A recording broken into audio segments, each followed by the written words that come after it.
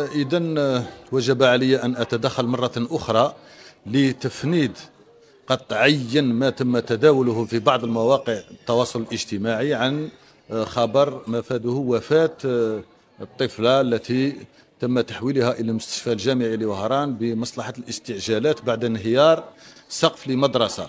الطفلة تخضع في هذه الدقيقة لعملية من قبل طاقم جد متخصص والحالة تاعها مستقرة. بل يمكنني أن أقول إن شاء الله فيها خير إن شاء الله.